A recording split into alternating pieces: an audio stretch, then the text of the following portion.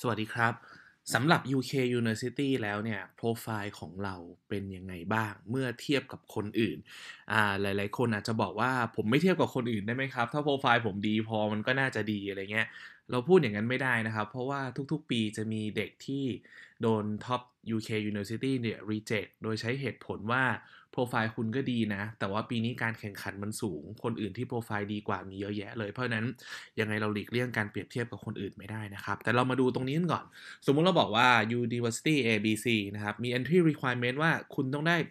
A level เนี่ย A star AA คำถามก็คือ เวลาครูที่โรงเรียนเขาทำ pre-set grade ส่งไปให้อะว่าเราได้ A star AA เนี่ยมันเพียงพอไหม ได้ prediction A star AA เนี่ยมัน enough ไหมนะครับ คิดอย่างนี้ครับ ทุกคนที่กล้าสมัคร University นี้เนี่ย น่าจะต้องมีอะไรบางอย่างเหมือนกันแน่ๆ อย่างแรก predicted grade เขาต้องสูง อย่างน้อยก็ต้อง A star AA ทุกคนอะไม่งั้นเขาไม่กล้าหรอกอันต่อมาถ้าเขาได้สอบ S level คะแนน S level เขาก็ต้องดี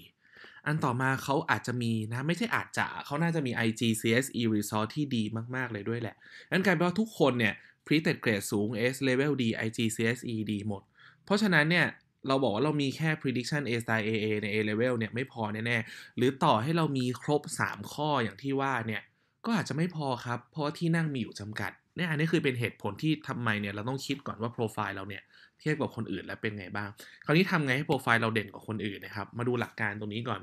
นะครับคือ Top University ที่ UK เนี่ยเขาเชื่อว่า skill นะครับหรือทักษะเนี่ยมันจะสามารถ develop ได้อย่างดีที่สุดพัฒนาได้อย่างดีสุดเนี่ยต้องพัฒนาผ่านสิ่งที่เรา born to be เพราะฉะนั้นเนี่ย University จึง มองหาคนที่ born to be ในด้านนั้นๆจริงๆ เพราะนั้นเนี่ยถ้าเกิดว่าเกรดเราดีเท่าคนอื่นแล้วเนี่ยแต่เราโชว์ได้มากกว่าว่าเรา born to be กว่าคนอื่นยังไง เรา born to be จริง ๆ ยังไงเนี่ย อันนี้คือเราชนะครับ คราวนี้ความ born to be เนี่ยในการทำแอปพลิเคชันเนี่ยมัน present ผ่าน 4 อย่างด้วยกัน อย่างแรกคือ personal statement นะครับ คือการเขียน essay เพื่อ present ตัวเองว่าเรา born to be ยังไง หรือ reference คือการที่ครูของเรานะครับ เขียน essay อีกหนึ่งฉบับเพื่อ support ความ born to be ของเรานะ เป็นการเสริม personal statement ขึ้นไป อันที่ 3 คือ admission test นะครับ เป็นข้อสอบวัด skill ว่าเรามีความ born to be ในด้านนั้นยังไง แล้วสุดท้ายเนี่ย ก็จะมีการอินเทอร์วิวพูดคุยกับคนที่ born to be ในด้านนั้นจริง ๆ ที่เป็น professor อยู่ที่ university แล้วนะครับ มา conduct interview กับเราเพื่อค้นหาว่าเด็กคนนี้ born to be จริงหรือเปล่านะครับนั้นประเด็นสำคัญอยู่ตรงนี้ครับ born to be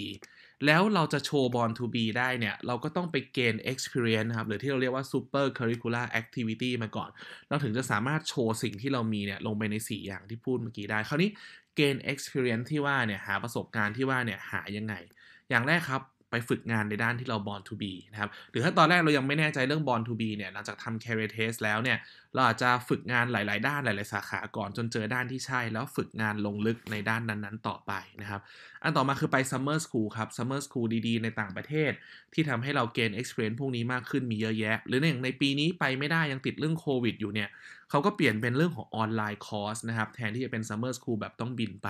ก็เกณฑ์ experience ได้สูงๆเช่นกันนะครับ อันต่อมาคือ competition ครับ การประกวดแข่งขันในด้านที่เรา born to be ที่เราสนใจ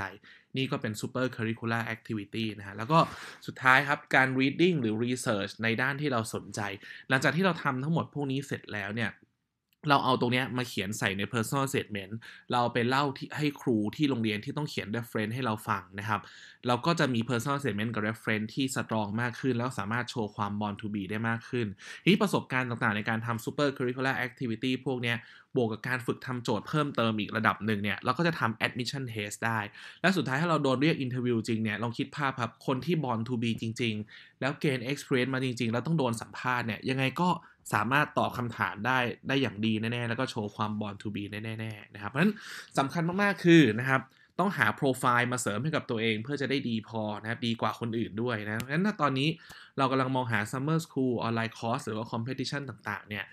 ปีนี้ทางเราเนี่ยมีจัดหลายตัวเลยนะครับ ก็ลองสอบถามข้อมูลกันเข้ามาได้นะครับไม่ว่าจะเป็น King's College London Global Space Design ของ Imperial นะครับ Oxford Royal Academy Seven Oaks School หรือว่า Oxford International College นะครับ ก็ติดต่อกันเข้ามานะงั้นสุดท้ายครับสรุปก็คือ